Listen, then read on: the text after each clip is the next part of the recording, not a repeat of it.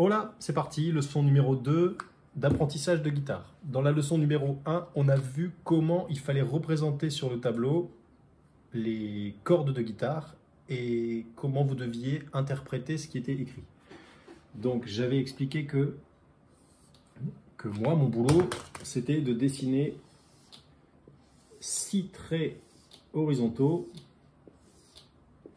qui représentaient vos six cordes de guitare. Attention, celle du haut, la numéro 1, c'est la corde la plus aiguë. Donc, c'est la corde du bas pour vous.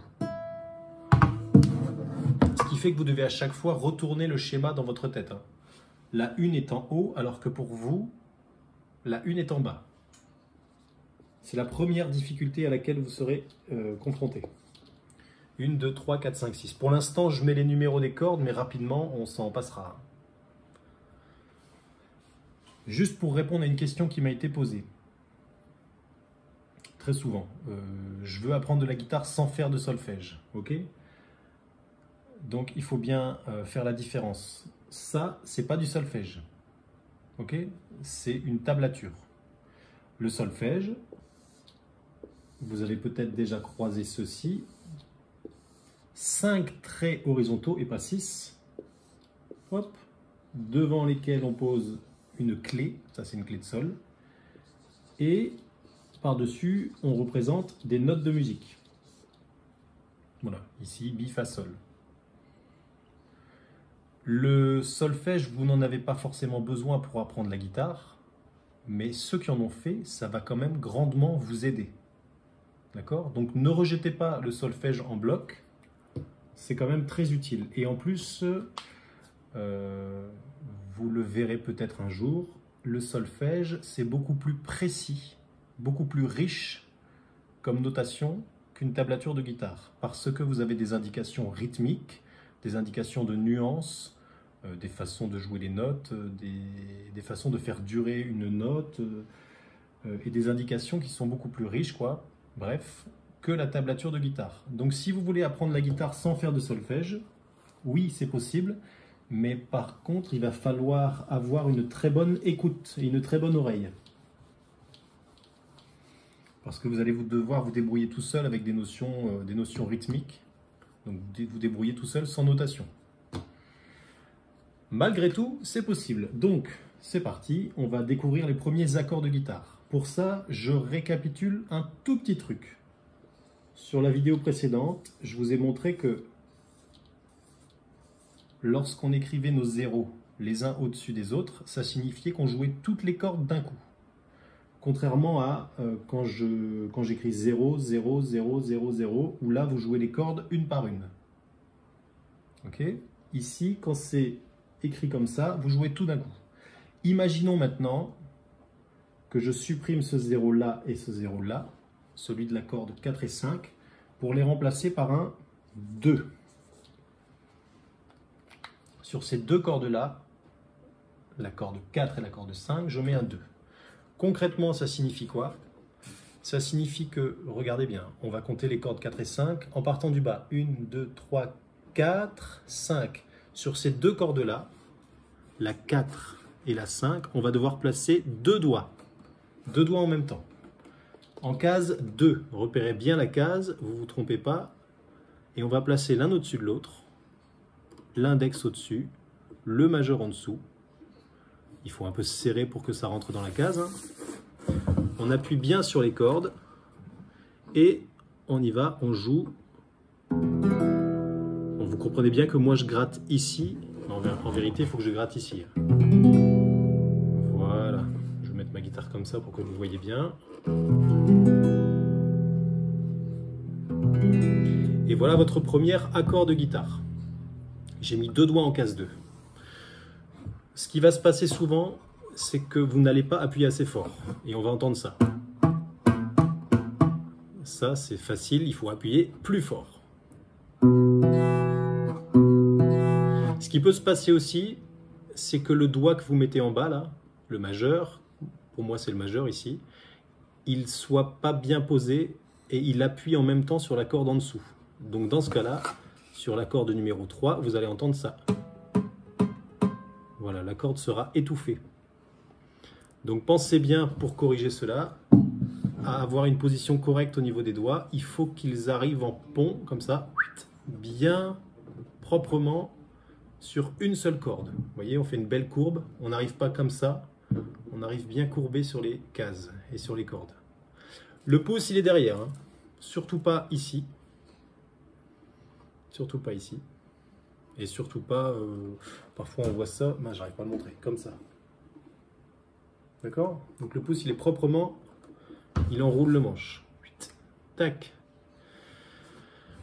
Et pour vérifier que votre accord est bien fait, faites sonner les cordes une par une de haut en bas, en commençant par la 6.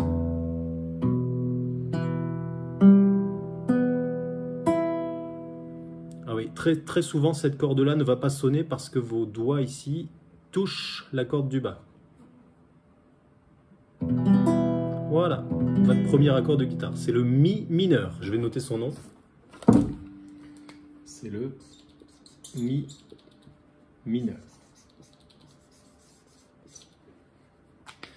Félicitations, vous avez appris votre premier accord de guitare. Hmm. Je vais parler tout de suite d'un truc. Les accords de guitare, donc ça c'est un accord de guitare, c'est euh, une position précise sur le manche, portent des noms de notes. Ok? Des accords de Do, des accords de Ré, des accords de Mi, des accords de Fa, de Sol, de La, de Si, etc. Et derrière le nom de l'accord, on a souvent une petite précision comme ça, mineur ou majeur. Je ne vais pas m'attarder sur euh, le pourquoi ça s'appelle comme ça, mais retenez bien qu'il faut surtout pas confondre les deux. Vous avez des mi mineurs et des mi majeurs. Ce sont euh, les deux familles d'accords principales, les accords mineurs, les accords majeurs. Quand vous aurez un peu plus de bouteilles, je pourrais vous expliquer euh, pourquoi ça s'appelle comme ça. Mais pour l'instant, contentez-vous d'avaler ça tout rond. Les accords portent des noms de notes, Do, Ré, Mi, Fa, Sol, La, Si, derrière lesquels on a une petite précision mineure ou majeure. Maintenant, très important, lorsque vous jouez un accord de guitare, vous faites sonner six cordes en même temps.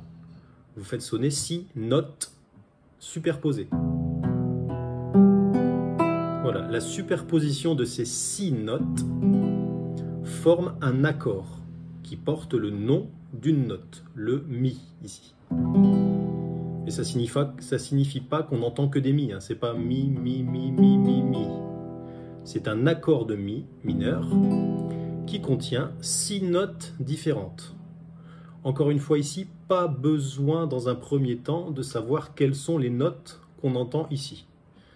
Mi, je vous le dis quand même pour ceux que ça intéresse, un Mi, un Si, euh, ça y est, j'ai un doute. Un Si, encore un Mi, un Sol, un Si et un Mi. Mi, Si, Mi, Sol, Si, Mi. Voilà. Et le tout forme un accord de Mi mineur. Ça va, c'est clair? Je vais essayer de laisser ça afficher et de vous montrer en dessous une autre façon de noter l'accord. Toujours le même, le mi mineur.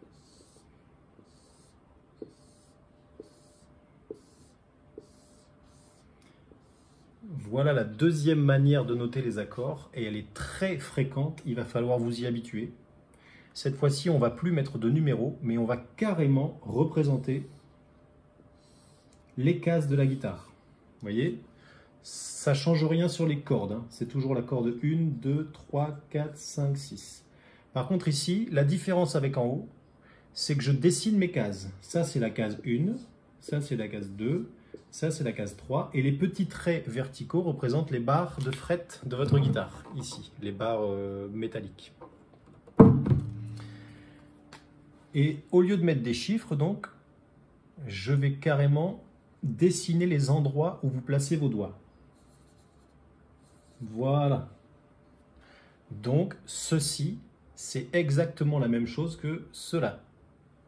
Simplement, c'est représenté différemment. Et vous devez savoir euh, jongler sur, l'un ou sur l'autre. Vous devez savoir reconnaître les deux.